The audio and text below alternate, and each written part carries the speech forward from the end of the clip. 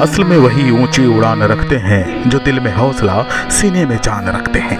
दरअसल ये शब्द और पूरी लाइनें सटीक बैठती हैं शबीना पर, जिन्होंने आपको बता दें कि तमाम जो ऐसे हालात थे जहाँ पर कुछ बात बनती नज़र नहीं आ रही थी। दरअसल बात न बनने के पीछे की वजह यह थी कि बचपन में उनके तेज बुखार आया। उस बुखार ने उनके जो पैर थे, वो पूरी तरीके से उनको चलने फिरने में असमर्थ कर दिया और आँखों की रोशनी भी हमेशा के लिए चली गई।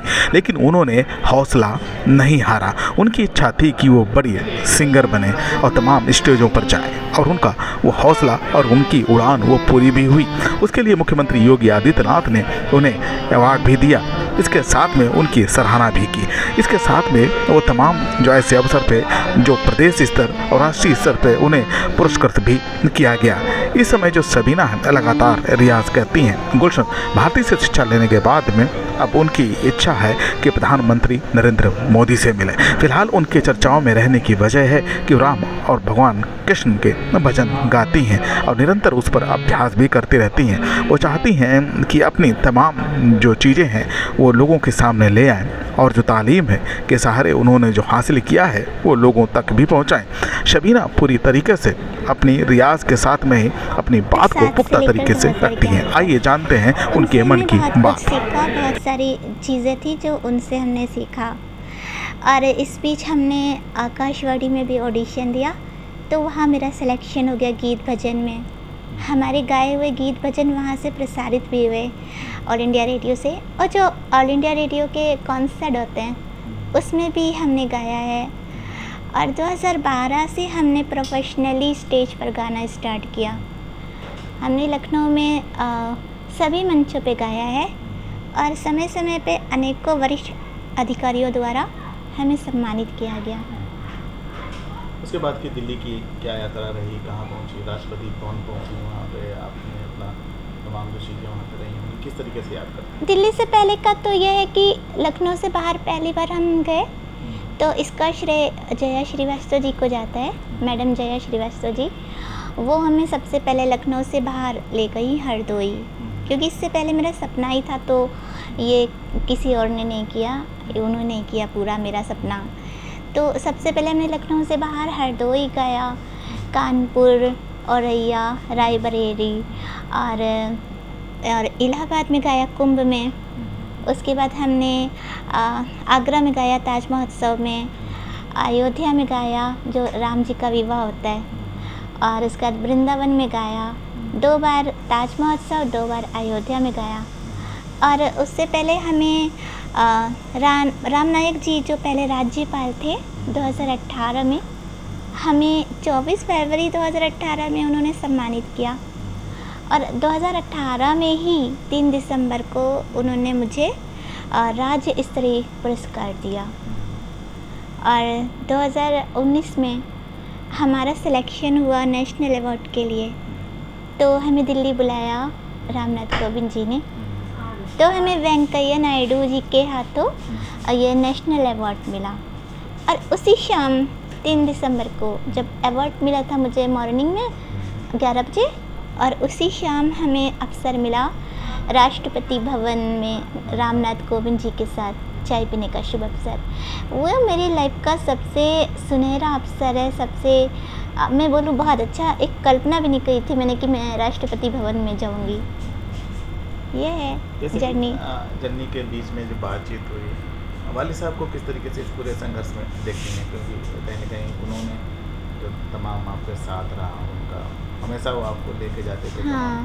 लेते हैं। जब मेरे संघर्ष के दिन थे तो उस समय हमारे जब मैं सीख रही थी तो उस समय हमारे यहाँ बहुत दिक्कतें थी हमारे पास व्हील चेयर भी नहीं थी और ना ही हम लोगों के पास इतना पैसा था कि व्हील चेयर ले सके तो हमारे पापा चाहे ऑडिशन जब हम देने जाते थे जितना दूर होता था जजिस का रूम जहाँ पे ऑडिशन लेते थे तो वो हमें अपनी बाहों में लेकर इतनी दूर चल के जाते थे और जब मंच पे मैं जाती थी तो सीढ़ियाँ भी किसी किसी मंच की बहुत होती थी। उस पर भी वो लेकर जाते थे, लेकिन मेरे पिताजी ने कभी ये नहीं कहा कि आज हम नहीं जाएँगे। और इतना खुश होते थे वो मुझे गाते हुए देखकर। उन्होंने मुझसे कहा, बिटिया, तुम कभी चिंता मत करना कि तुम कैसे जाओगी। तुम्हारी जहाँ तक जाने की इच्छा होगी, हम तुम्हें लेकर चलेंगे। मेरे पिताजी का बहुत संघर्ष है मेरे लिए क्या, अब क्या लग रहा है कि क्या इच्छा है? जैसे कि आपने बताया कि प्रधानमंत्री जी से मिलने की आपकी इच्छा है। हाँ मेरा सपना है, क्योंकि मैं मुख्यमंत्री से दो बार मिल चुकी हूँ, योगी जी से, और सभी लोगों से मिल चुकी हूँ, और मेरा सपना है कि मैं अपने प्रधानमंत्री जी, नरेंद्र मोदी जी से मिलना चाहती हूँ, क्योंकि मैं उनके कार्यों से इतना प्रभावित हूँ। कि मेरा बहुत मन करता है उनसे मिलने का। और मैं उनके आज जो कार्यक्रम है मन की बात मैं बहुत लगन से सुनती हूँ। क्या कहना चाहेंगे मोदी जी से? मोदी जी से भी कहना चाहती हूँ कि जैसे आप हैं इससे पहले तो वैसे मुझे ज़्यादा कुछ याद नहीं है पर वो प्रधानमंत्री बने तो भारत देश की तस्वीर जैसे कि आज बदली है। इससे पहले बहुत कुछ जो अभी हुआ है उनके समय में वो पहले नहीं हुआ था। और मैं और भी उनको अपना सब कुछ बताना चाहती हूँ, दिखाना चाहती हूँ। और मैं सोशल एक्टिविटीज़ और भी करती हूँ सिंगिंग सिंगिंग के अलावा, जैसे कि मैं पर्यावरण पे भी करती रहती हूँ। और क्योंकि मैंने लोहिया पार्क में अपना एक मैंगो ट्री लगाया है। और मैं अभी इस बार जो मेरा जन्मदिन आएगा तो मैं वही मनाऊँगी। तो तो तो किस सबसे बड़ी बात है कि भजन को ही क्यों चुना? आपको क्यों लगा कि मुझे भजन गाने चाहिए? या बॉलीवुड की तरफ़ नहीं जाना। पहले था सपना जब मैं छोटी थी भजन बॉलीवुड की तरफ़ जाने का। लेकिन अब कुछ समय से मेरा बॉलीवुड से मन हट गया है क्योंकि मुझे लगता है मैं ये नहीं कह रही हूँ कि अच्छा काम नहीं हो रहा बहुत अच्छा काम हो रहा है। लेकिन जो रुचि मेरी पहले थी वो रुचि मेरी आज नहीं है क्योंकि उन लोगों का अब वो स्टाइल नहीं रहा स्टाइल चेंज हो गया है। बॉलीवुड का जो पहले ट्रेंड था वो आज नहीं है। अब मैं सिर्फ़ भजन गाती हूँ भजन गाना चाहती हूँ क्योंकि गीत गाने वाले फिल्मी गीत गाने वाले बहुत सारे लोग हैं। भजन गीत भजन गाने वाला इतना नहीं है। तो मैंने सुना मुझे भजन ही गाना है। आगे भी भजन में ही अपना करियर बनाऊँगी। भजन सबसे अच्छा लगता है एक बार मैं एक शिव जी का भजन सुना दूँ? पे सुनो मैं तो शिव की पुजारन बनूँगी। मैं तो शिव की पुजारन बनूँगी। अपने भोला की जोगन बनूँगी। अपने भोला की जोगन बनूँगी। हो, मैं तो शिव की पुजारन बनूँगी। मैं तो पहनूँगी जोगन का चोला। मैं तो पहनूँगी जोगन का चोला। वो है पारस महादेव भोला। मैं तो पहनूँगी जोगन का चोला।